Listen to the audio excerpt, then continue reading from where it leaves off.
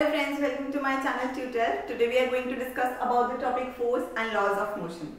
So before we start with this topic, let's discuss in detail about force. What is force? So when uh, imagine that there is a door here, okay, and you want to open this door. What will you do? You will apply a pull and you will open the door. Similarly, if you have to close this door, what will you do? You will apply a push and you will close this. So this pull or the push that you apply to an object is force. Let's summarize it quickly.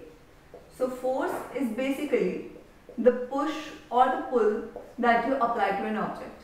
We have already studied about this in grade 8. We have also studied that it is of two types that is contact force and non-contact force and also you have studied that SI unit of force is Newton and it is abbreviated as capital N.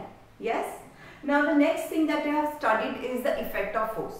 So for example, what is basically effect of forces? Effect of forces are the effects that the application of a force causes on an object. For example, let's say that I have a pot. I am a potter, I have a pot and I am designing it. So what does the potter do? He shapes it like this by applying a force. So when you apply a force, an unbalanced force, this force it results in the change in the shape of the object. So first change that, first one is it changes the shape of an object. Second, imagine that I have a stretch, stretch band, rubber band. Now what I'll do is I'll stretch it. Okay, so what happens? The elastic, elastic band or the rubber band which I had of this shape, it changes its shape, right? So the second one is change in the size. Obviously it will expand, right? Size and change in the shape of the rubber band. Third is, imagine that I have a pen, right? This is my pen, it's here. Now what I am doing is, it is completely at rest, right? The state in which it is at right now, at this very moment, is the state of rest. Now I'll apply a force to it. Push and see the this pen, it's moving, right? So it changes the state of this pen from the state of rest to state of motion. Similarly, if this pen was moving and I apply a push from this side, it will stop. So this force causes the state of motion of this object to change to state of rest, right? So it causes the change in the state of motion or rest. So it causes a change in the state of an object, right? Now the next change that it brings is, for example, like a, a cricketer, he's, he's throwing this ball and there's a batsman who is here who will hit it. Now this ball was eventually going in this direction and when the batsman hits it, it goes in that direction or any direction with respect to the direction angle with which the ball is being hit and the force, right? So this effect of force can also cause the change in the state in the direction of an object. So these are the changes which are brought along by the forces, right? Now next we are going to study about the balanced and the unbalanced force which is caused because of this force and the effect it has. Now we will be talking about the two types of force. One is the balanced force and the other is the unbalanced force. Now what exactly are these balanced and the unbalanced forces? Imagine that the ball that I just showed you, that is this ball and I apply a force of 10 Newton from this direction. So since you know force has unit as Newton, so I have written 10 Newton. Now there is another force which is applied from this direction and the force is also 10 Newton. Now how do you find the net force that is acting on this ball? So you take the bigger value of the two. Now which is the bigger one? Both are same. So I can take either one. I'll take this one. 10 Newton minus the other one. 10 Newton. And the resultant value that I get is my net force. Now 10 minus 10 is 0. So 0 Newton means that no net force is acting on this ball and 0 Newton is an example of a balanced force. This force, this, uh, this balanced force causes a change, only, only it causes a change in the shape of an object and nothing else. Only the shape or the size of an object. It does not cause any change in the state of motion or rest or the direction of an object. Now next we have unbalanced force.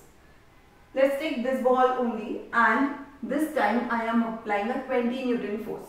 Now the easy way to solve it was, this was the first one, we take it, this one has to be the second one. Which one is the bigger value? Obviously 20 Newton, right? So 20 Newton minus the other one, 10 Newton and the resulting Newton will give me the net force that is acting on this ball. So 20 minus 10 is 10 has a net force that is acting on this ball is 10 Newton. I hope this is clear. Now since some force is acting on this ball, hence this is known as unbalanced force. This unbalanced force results in the change in the state of motion, state of rest, direction, size and shape of an object. I hope this part is clear to you. Now, this was in the case when both of them are in the same direction. What if they were in the opposite direction? Still, we will conclude that in the left how much force is acting, we will sum that up and in the right how much force is acting, we will sum that up and then we can simply apply this formula. This is a standard formula that we use. Now let's quickly do a few more questions to understand balance and unbalanced force. So what I do is, these are my boxes. Are four boxes that I'm drawing right now. And here 20 Newton force is being applied, 30 Newton is being applied, and in this direction 10 Newton is being applied. In this one, 10 Newton is being applied in this direction and 20 Newton in this one. Or let's say this is 40 Newton. Now here 40 Newton is in this direction and 20 Newton is in this direction. Let's take 10 Newton more. And in this one, 15 Newton is being applied in this one and 5 Newton and 10 Newton is being applied in this one. Now the simple trick that I just told you of how to solve these questions are, first see in which direction how much force is being is acting. Now let's take this direction and this direction. So the net force acting in this direction is 15 Newton. So this is 15 Newton. In this one, along this direction, this force and this force are acting, right? So the net is how much 10 plus 5 is 15 Newton. Now we will take the bigger value out of the two. So both are same. It will be 15 Newton, this one, minus the other one, 15 Newton and it will give me 0 Newton. Right? Next, let's take this one. So here, these are the two directions. In this the net force acting is 40 Newton. In this the net force acting is 20 Newton. I'll take the bigger value of the two. So I will have 40 Newton minus the other one that is 20 Newton and I will get 20 Newton. This is my net force. Now, force is a vector quantity. Vector means it has both magnitude as well as direction associated with it. This 20 Newton is my magnitude and the direction is in the direction in which the maximum force is being applied. Now see 40 Newton is applied here and 20 Newton is here. 40 Newton is bigger, right? So the direction of the force of the net force is taken to be the direction which has the maximum magnitude of force on it. So 40 is bigger than 20, right? So this is the direction of this force. So I will say towards, this is my right. So 20 Newton towards right. That is how you always tell your net force. Magnitude along with direction. Correct? Now let's take the next one. Here the direction is this one. So we will take one direction here and the other one here. Now here 10 Newton, 20 Newton and 30 Newton are acting in this direction, right? So 10 plus 20 is 30 plus 30 it's 60 Newton. And in this direction, see none of the force is acting. So I will take it to be 0 Newton. Now which one has more force? Uh, which one is greater? 60 obviously. So it's 60 Newton minus 0 Newton so the net force is 60 Newton. Now as I said the direction of the force which is applied will be taken in the direction in which the bigger force is acting, right? So 60 Newton being bigger, so I, I'll say 60 Newton towards left. I hope the balance and unbalanced force is clear to you. Balance force, it uh, causes change in the shape and the size of an object. Unbalanced force, it causes change in the shape, size, state and direction of an object. Whenever you are telling about the net force, in the case of unbalanced force, you always tell the direction also. Now let's do one more example from our daily life. Imagine that there is this road and there is a car which is traveling on it. I'm not very good at drawing. So this is my car, okay. Now the person inside is accelerating and thus a net force of 15 Newton is being applied by the car for the motion. Since friction force will act, right? You have learnt about this. It's a non-contact force. It's a contact force, sorry. Now the friction force that is acting here is 25 Newton. Will this car move or not? So in this case, what you need to do is, in this direction I have 15 Newton. In this direction I have 25 Newton. I will take the bigger value which is 15 Newton. So I will have 15 Newton minus 25 Newton which will give me net 25 Newton in which direction? Here. So the direction will be towards left.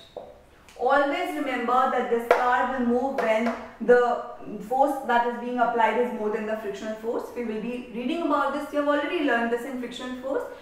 So this is a sliding friction that is working right now and this is my net force. So the car will move towards left and the net force that will be acting is 25 Newton.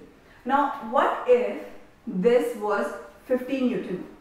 In that case, 15 Newton minus 15 Newton will be there and the net force would have been 0 Newton and the car will not be in motion. It will be in the state of rest. I hope this is clear to you. If you have any doubt, please do let me know. In next class, we will be doing Newton's law of motions. Thank you so much. Do subscribe and like the video. Bye.